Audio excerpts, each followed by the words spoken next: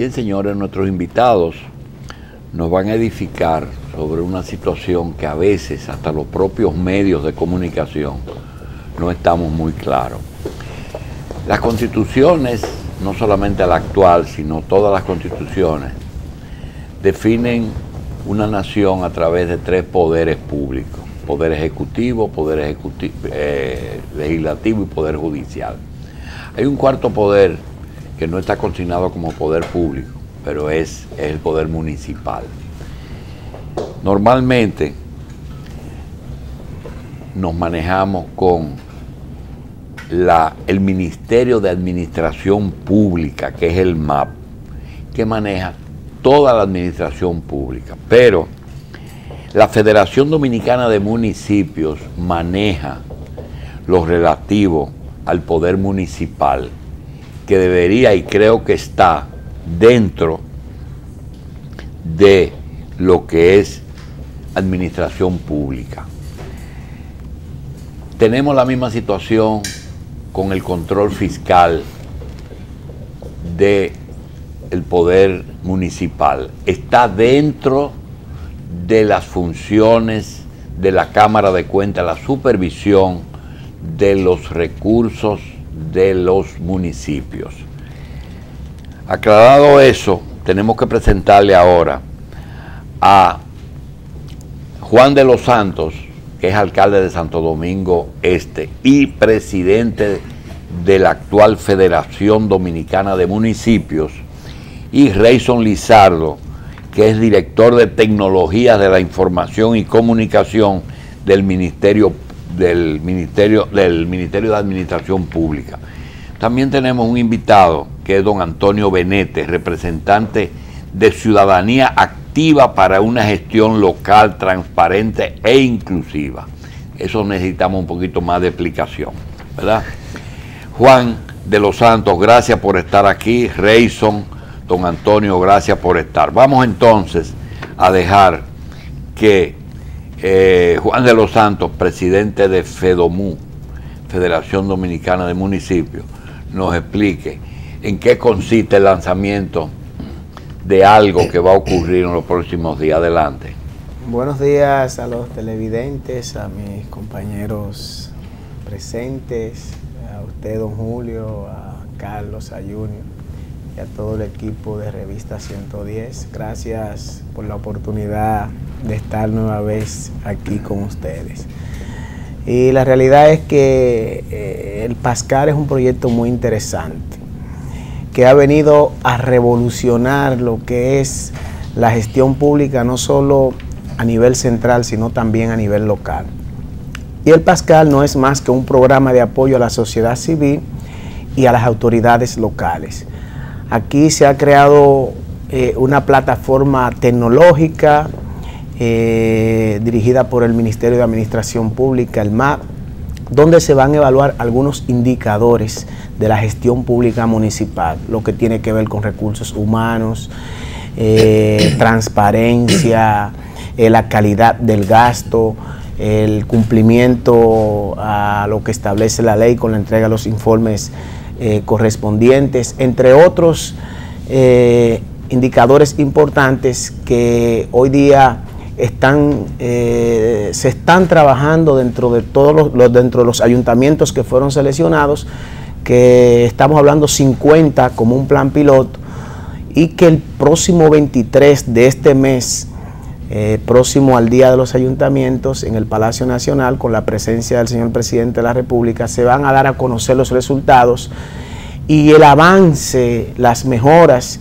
eh, que ha venido se ha venido eh, obteniendo con la aplicación de este proyecto, que aunque se va a dar a conocer el 23, ya tenemos prácticamente un año trabajando y se hizo un diagnóstico de todos los ayuntamientos que están siendo evaluados.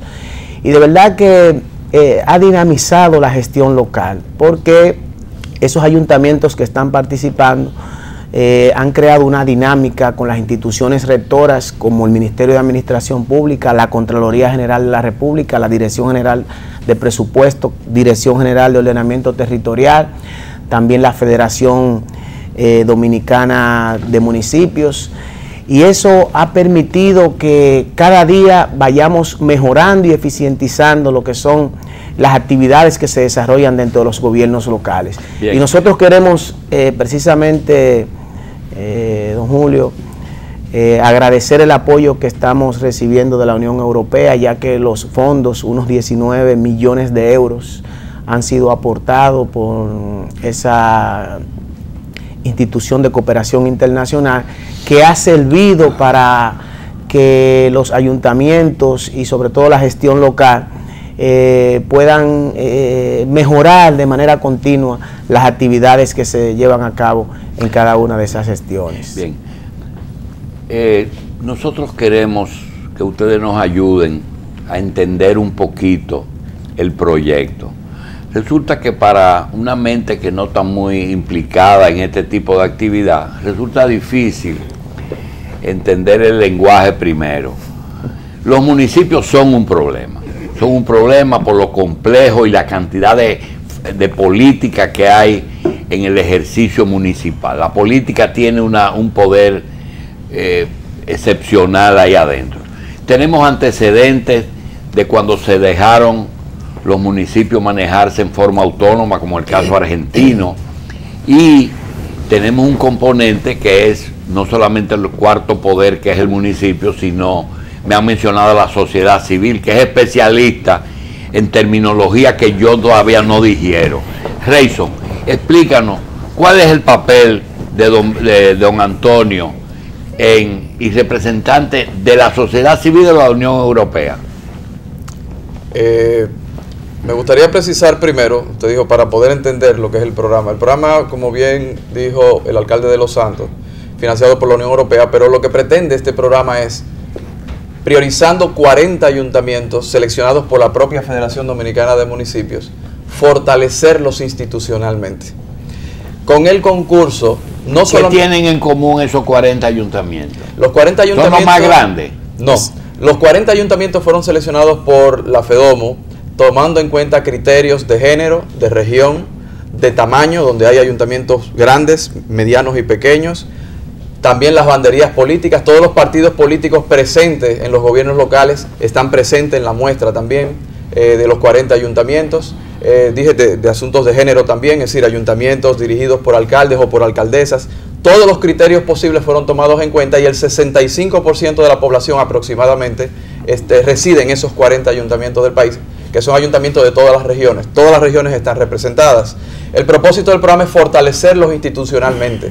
¿Es un programa de fortalecimiento o es un estudio que se va a hacer de esos 40? No, de fortalecimiento institucional donde lo que se pretende es no solamente el MAP, aquí participa la Dirección General de Ordenamiento Territorial, la Dirección de Presupuesto, participa también la Dirección de Compras y ¿Hay distrito municipal en esos 40? No, señor. 40 Solamente son Inicialmente el programa cubre 40 ayuntamientos. Ocho órganos rectores, entre los que está también la Federación Dominicana de Municipios, se reparten, digamos, eh, lo que es la eh, implementación de una serie de metodologías, de capacitaciones, etcétera, porque el objetivo es fortalecer los ayuntamientos para que mejoren la gestión de presupuestaria, lo que es la transparencia, porque la Dirección, por ejemplo, de Ética e Integridad Gubernamental participa para todo el tema de la implementación de la ley es para su fortalecimiento. Para su fortalecimiento. El no es para chequeo, ni para usarlo de modelo, ni un estudio para una encuesta, ni nada de eso. No, señor, lógicamente, en la implementación del programa hay una serie de actividades. Perdóname, pero yo me llevo del dueño del canal que dice, lo que me coge más de 10 minutos en entenderlo no me conviene.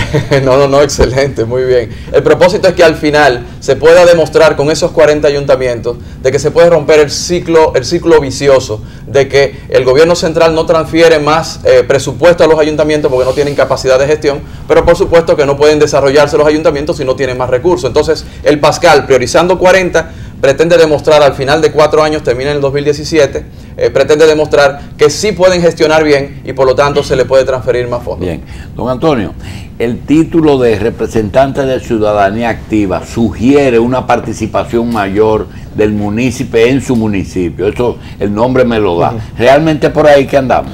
Sí, efectivamente, Ciudadanía Activa, eh, eh, finalmente, valga la redundancia, es un consorcio de 10 entidades, 10 entidades principalmente dominicanas y que un poco los criterios de selección para la incorporación de las mismas en el consorcio ha sido sobre todo su presencia y su trabajo, su, tradicional trabajo en los municipios. Eh, nuestro papel es un poco el de la última milla, ¿no? el hacer entender, sobre todo al tejido social que hay en los territorios, a esas organizaciones comunitarias de base, a los ciudadanos, entender ese tipo de procesos y sumarlo desde un enfoque de derechos y deberes. Es decir, que no se trata únicamente de ir a solicitar al ayuntamiento, sino entender qué derechos y deberes tenemos y sumar ese tipo de procesos que entendemos que es una reforma no solo administrativa, sino de... y esos 10 esos diez factores o sectores que deben ayudar, si usted se acuerda algunos, ¿cuáles serían? Pues desde las 10 entidades, o sea, el Consejo está conformado por 10 entidades. Tenemos Fundación Solidaridad, Participación Ciudadana, OSFAN, que es la que coordina el programa, está CESAL, que es la institución que, que dirijo yo, está CEPA, está Comunidad Cosecha, está Progresio y... Me da sociedad civil por todas partes. Sí, está... sí, sí, sí, la idea es, lo que se ha querido un poco con el consorcio es eh, resguardar la, la, presencia de estas entidades en los municipios donde vamos a entrar. La, la ayuda de la Unión Europea condiciona la participación de esas instituciones. No, para sacar la mano del municipio, porque los municipios hay que cuidarlo muy bien aquí. La mayor cantidad de auditorías que están cuestionadas aquí en la Cámara de Cuentas son de municipios. Lo exige la Unión Europea que haya para sociedad civil fiscalizando eso. Lo que la Unión Europea ha intentado con este programa, que no solo tiene actores del Estado, tiene la Asociación Nacional de Municipios, es incorporar un actor clave que para nosotros es la sociedad civil. Eh, la reforma de la administración pública per sí no garantiza una política pública, es decir, que entendemos que en este nuevo enfoque o en esta manera de gobernar la asociación es un sector clave, porque ya no solo el Estado el que produce política pública, sino que el Estado y la sociedad civil son los dos actores que coproducen políticas públicas. Antonio, habla de, de gestión local transparente, eso lo pedimos todo a grito. ¿Qué es induciva? Inclusiva, porque eh, uno de los componentes del, del programa no solo porque... Ah, inclusión. Sí, porque hay dos componentes que están más orientados a la gestión per sí, pero como decimos, o sea, la gestión finalmente vinculará a la sociedad en la manera en que esa gestión redunde en mejora de, de las problemáticas y las necesidades sociales. Entonces, inclusiva, desde el aspecto, hay una competencia clara en el municipio que es el desarrollo económico local. Lo que queremos es que esa gestión eficaz, eficiente y transparente de los municipios redunde en incluir aquellos grupos que actualmente son excluidos en los territorios. Reyson, este programa es a iniciativa de Juan de los Santos como presidente de FEDOMU o del Ministerio de Administración Pública. Fíjese, el programa lo que pretende es apoyar ya una política pública en marcha de reforma municipal. Como usted sabe, la mayoría de los órganos rectores tienen ya un mandato desde hace casi una década, algunos de ellos, eh, de intervenir el territorio, de intervenir los ayuntamientos para implementar, por ejemplo, en el caso de DIGEPRES, la ley de presupuesto establece la rectoría para ellos en el área municipal. ¿La ley ampara esa intervención? Por supuesto que sí. La ley de función pública, que es la ley eh, base del Ministerio de Administración Pública, desde el 2008 da un mandato al Ministerio de Administración Pública de implementar lo que es la ¿A profesionalización. ¿Tiene incidencia en el poder municipal? Por supuesto que sí, todos los órganos rectores que Una pregunta de ñapa, ¿y en el legislativo en el, y en el judicial también? todo lo que es administración pública solamente. Ahí hay una sola cosa. Administración pública, sí. Y el poder municipal, los gobiernos locales son parte de la administración pública. Entonces, nosotros, los órganos rectores, tenemos ese mandato, pero por una serie de circunstancias logísticas, presupuestarias, muchos de nuestros órganos rectores no habían podido tener gran incidencia en los municipios. Este programa viene con apoyo de la Unión Europea a justamente dotarnos de logística apoyo financiero para poder llegar a los municipios. Obviamente, como hay limitación de tiempo y de, y de, financiamiento, eh, hay que priorizar una cantidad de municipios específica. La Federación Dominicana de Municipios nos ayudó en esa parte para identificar esos 40 municipios y en un lapso de tiempo, en este caso tres años y algo, demostrar que sí se puede gestionar mejor. Un programa de pero la estrategia es incorporando a la sociedad civil. Es un programa de tres años. Es un programa de cuatro años. Realmente arrancó el 25 No es un programa intervencionista de la sociedad civil en los municipios. No, señor, para nada. Es Porque ustedes tienen FEDOMO y ministerio, ni no necesitan un tercer socio. No, es un programa colaboracionista porque lo que pretende es, el enfoque es que podemos eh, impulsar la reforma municipal solamente con el concurso de los tres actores, gobierno central, los alcaldes, los municipios, los gobiernos locales y la sociedad civil. Juan, no es el objetivo nuestro colocar en situación difícil esta conversación, pero me da la sensación de que ustedes han tenido que acudir a la Unión Europea para que le mande transparencia y, y supervisión, porque frente a tantos problemas han tratado de, lo, de buscar ayuda económica y técnica para mayor transparencia y eficiencia de municipios que ni siquiera pueden atender los ciento y pico, se van a limitar a 40. ¿Es así? Mire, la transparencia es parte o es un indicador de 30 que se están evaluando. ¿Y qué es lo que buscamos? Precisamente con la institucionalización y con una buena gestión de los demás indicadores, seguir haciendo una gestión pública municipal mucho más transparente, que se pueda rendir cuenta, porque precisamente el programa eh, conlleva la conformación del Consejo Económico y Social Municipal, que es un órgano compuesto por las autoridades locales, es decir, la administración del ayuntamiento, la sala capitular y la sociedad civil. Pero también el programa, uno de los indicadores, manda a que los ayuntamientos se planifiquen a través de un programa de gestión municipal a corto, mediano y largo plazo. Pero también el programa mide lo que es los ayuntamientos que tienen la oficina de libre acceso a la información. Es decir, que la transparencia siempre eh, está incluida dentro de cualquier eh, eh, iniciativa que se lleve a cabo y más hoy día que es uno de los elementos que más se cuestionan en la gestión municipal. ¿Cuándo se inicia el, el programa? El programa se inició, se va a dar a conocer y el resultado de los ayuntamientos, la evaluación técnica que se ha hecho, donde esas instituciones que encabeza el Ministerio de Administración Pública, más las otras que hemos mencionado, han hecho una evaluación dentro de todas las administraciones locales, esas 40 que se han mencionado, han ido allá y han levantado la información, han digitado dentro de la plataforma tecnológica que está llevando el programa, entonces esos indicadores tienen una calificación que será dada a conocer públicamente y los ciudadanos podrán acceder a ella en cualquier momento en línea cuando deseen conocer la realidad de cada uno de esos municipios. Ese 30% de los municipios, que es aproximadamente 40 municipios, ¿cómo fueron seleccionados? Bajo el criterio que Rayson acaba de decir, eh, la región, el tamaño, el género. Pero eh, son los mejores. No, es que ahí no se sabía si eran buenos, o malos. Fue una selección regional donde estén compuestas las todas las fuerzas políticas. Una muestra, una, muestra, esa es la palabra. Ahí, no son los mejores, ni los más ricos, ni los más grandes, ni los mayores habitantes. No, incluso usted verá en ese, en ese resultado, cuando se dé a conocer ayuntamientos que son pequeños, que tal vez tienen menos recursos económicos, con mejor calificación que ayuntamientos grandes. Exactamente. Ahí no se ponderó eso, se seleccionaron a través de la Federación Dominicana de Municipios una muestra y entonces esos ayuntamientos, esas instituciones fueron allá, hicieron un levantamiento y en función de las informaciones que levantaron, entonces la digitaron y eso es lo que se va a dar. este programa, ¿siente un precedente o Habrá un antes y un después. De porque, porque lo más importante, Julio, y al pueblo dominicano, es que ahí se va a conocer la verdadera realidad. Lo que queremos es que el gobierno central, una vez concluido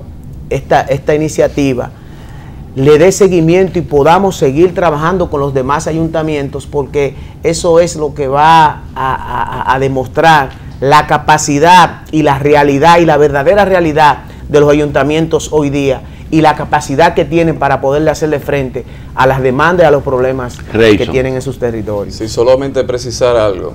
Efectivamente va a haber un antes y un después, como menciona de los Santos, a partir del el Pascal, porque justamente lo que vamos a lanzar el 23 de abril de este mes, el 23 de, abril ahora, es la plataforma tecnológica que va a monitorear permanentemente el avance del programa, que en otras palabras no es más que la plataforma tecnológica que habrá de monitorear la reforma municipal. Es una plataforma que sirve al Pascal, pero una vez el Pascal termine, esa plataforma queda eh, administrada por los órganos de control, monitoreada por la sociedad civil utilizada por todos los ayuntamientos del país para que la ciudadanía de manera transparente pueda permanentemente conocer la gestión presupuestaria, la planificación de desarrollo municipal de los municipios, también saber cómo compran es decir, la calidad de las compras, la calidad del gasto, conocer cómo funciona la transparencia, las oficinas de acceso a la información, conocer la calidad del personal, la transparencia, acceso a la nómina de, las,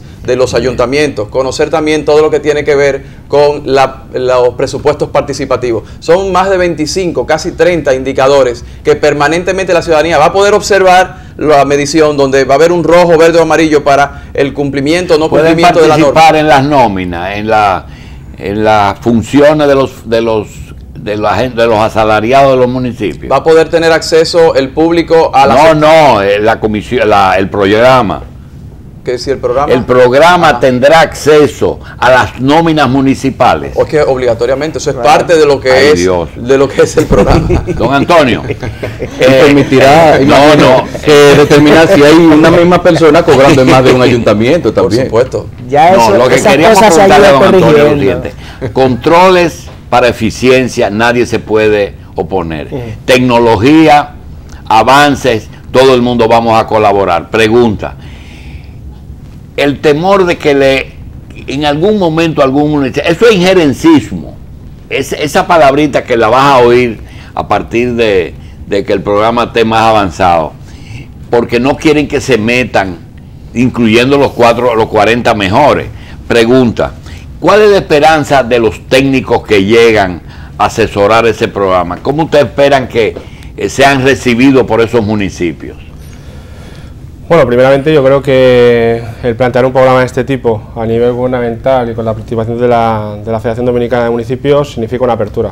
Una apertura en la, manera de gobernar, como decía antes, que no es solo gremial o solo gubernamental, sino que es, eh, hace partícipe a la sociedad civil desde la participación y la aprobación ciudadana. Yo creo que eso es un paso, que ojalá no se quede únicamente en este programa, porque finalmente es un programa eh, cofinanciado por una entidad con la, Delegación Europea. Entonces, ojalá realmente se convierta en una política pública de Estado y que realmente las políticas públicas se orienten al bien común. Ese es el ánimo. Entonces, desde esa apertura, eh, entiendo que también el que los ayuntamientos hayan accedido a suministrar información para generar este sistema de monitoreo, creo que es otro paso, es otro paso que damos. Y, luego creo, efectivamente, que, se está planteando una reforma administrativa que únicamente no entra en los recursos humanos, eficientizar o, desburocratizar lo que son las estructuras de ayuntamientos, sino que se quiere adecuar lo que son las estructuras municipales a la satisfacción de las necesidades y las problemáticas de los ciudadanos en los territorios. Su papel ahí dentro es de observador, de monitor o en algunos casos de implementador de medidas que tienen usted que sugerirle a los municipios? A los, bueno, yo creo que el, papel de la sociedad civil eh, permea en las tres cuestiones que usted ha dicho. Creo desde observador, porque de hecho se van a crear observatorios que permitan ir eh, eh, midiendo el avance y evaluando cómo se implementa la política pública Creo que también de, participación, porque creo que una cuestión importante dentro de la sociedad civil, como le pasaba a usted, es que esto se entienda en los territorios, o sea, que la gente entienda cuáles son sus derechos y derechos. Y, luego eh, retroalimentar el sistema de monitoreo. Creo que, creo que es un avance el sistema de monitoreo, creo que es mejorable, pero creo que debemos estar atentos a cómo eso realmente va permeando. Yo creo que en ese sentido... Lo que, lo que pasa, don Antonio, es que República Dominicana tiene una Cámara de Cuentas que fiscaliza, tiene una oficina de compra y contrataciones, tiene un departamento de ética. Entonces, el papel de la sociedad civil, lo único que nosotros quisiéramos que Juan de los Santos y, y Reison nos diga es, sabemos que hay una cara visible. El presidente de la Federación de Municipios tiene un papel importante en ese proyecto el Ministerio de Administración Pública tiene un papel importante con su cara, el ministro Ventura Camejo, el presidente que es Juan de los Santos. Ahora, ¿quién es la cara visible de la sociedad civil con la que ustedes han conversado para conseguir a don Antonio aquí? ¿Con quién han hablado? ¿Cómo consiguieron ese proyecto? Bueno, en el caso de El Pascal como programa, eh, implementado con fondos de la Unión Europea, tiene dos componentes. Un componente que es el de los órganos rectores, el de implementación de las distintas leyes eh, de, los, de estos órganos rectores para la gestión presupuestaria, planificación, etcétera, que liderea el Ministerio de Administración Pública ese componente. Hay un segundo componente que es de la sociedad civil, para justamente fomentar lo que es el control social en la gestión pública, en este caso la gestión municipal. Obviamente, como usted dice, ¿quién es esa cara de la sociedad civil? Bueno, pues se hizo una especie de licitación para de ofertas de eh, ONGs, de organizaciones no gubernamentales, y ganó un consorcio, el consorcio del que forma parte. ¿Cuál, eso es privado, ¿verdad? ¿Cuál, ¿Cuál es el costo del proyecto en los tres años? La- el aporte de la Unión Europea es 18.1 millones ¿Y la de euros. contrapartida dominicana? No hay contrapartida. Ni de la federación tampoco. No, es, Ellos van a es- es de la aportar. modalidad de apoyo presupuestario. Bien, nosotros queremos darle las gracias y dejar la oportunidad a Juancito, a Juan de los Santos y a Reyson que nos diga eh, cuándo se dará a conocer los detalles de lo que acabamos de hablar oficialmente. Bueno, eso será el próximo 23 de este mes de abril, ah, en horas que todavía no se ha definido, pero entiendo que 11 de la mañana. 11 de la mañana, en el Palacio Nacional con la, presi- con la presencia del señor presidente de la República. Bien. Y finalmente, don Julio, eh, decirle que este es un proyecto más de la Unión Europea, que paralelamente se están trabajando otras iniciativas, que no es el único, para que no entienda que la Unión Europea ha venido a reglamentar y a organizar a los No, eso está muy bien, un proyecto Entonces, de la Unión Europea que claro. puso en concurso un proyecto y contrató una empresa. Lo, a- que, lo que yo no veía claro, pero ya sí, Sí. es la participación de las ONG ahí. Y fue agradecer ese apoyo porque de verdad eh, va a ser de, de muy, muy positivo para la gestión local. Bien, le doy las gracias a Juan de los Santos, alcalde del municipio de Santo Domingo Este presidente de, la Federación Dominicana de Municipios, a Reyson Lizardo, director de Tecnologías de la Información y Comunicación del Ministerio de Administración Pública, y a don Antonio Benete, representante de Ciudadanía Activa para una gestión local transparente e inclusiva. Gracias por estar aquí y mucho éxito. Gracias a ustedes.